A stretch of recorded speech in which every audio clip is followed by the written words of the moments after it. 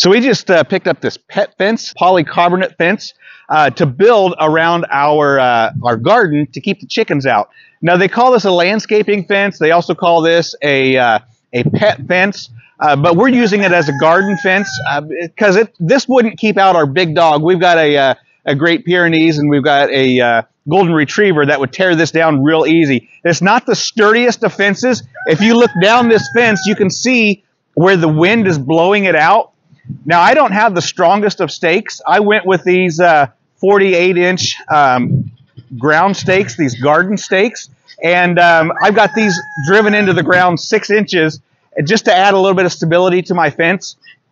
I used some steel uh, six foot uh, fence post for my corner stakes because uh, there was no way that these stakes were going to hold uh, the uh, the tension on the corner.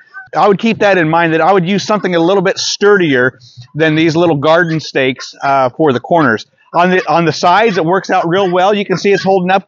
Pretty windy right now, and it's actually been pretty windy for days.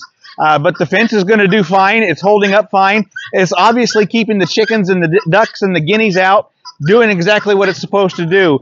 Now I did use I did use industrial strength zip ties and I used on every one of these garden stakes, I used four zip ties, four zip ties on the garden stakes. And then on the, the corner posts, I used multiple, I used multiple. So for my, uh, for my fence, I am 30 by 14, 30 by 14. So I got 70, 80 feet right here, 80 feet of fencing. For 80 feet of fencing, I used, uh, I used 10 of the, uh, the garden stakes. You can probably use a lot more than that.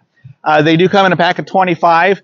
And then I also used 100 of the zip ties. Probably don't need 100, but I just wanted to keep the fence secure, and I had them, so I went ahead and used them. Now, when it comes to the door up here, for the door, I'm going to be using a chain for the door. Um, but I had an old gate here. Uh, again, I probably wouldn't use anything uh, like this for the door, uh, but I would make some way to, to get in and out of. So I used an old fence gate, and I, I zip tied it also to these fence posts and left one end opened. I've got a couple of garden tools keeping it shut right now until I get it secured with a with a chain or with a, a rope to uh, uh, to tie that shut.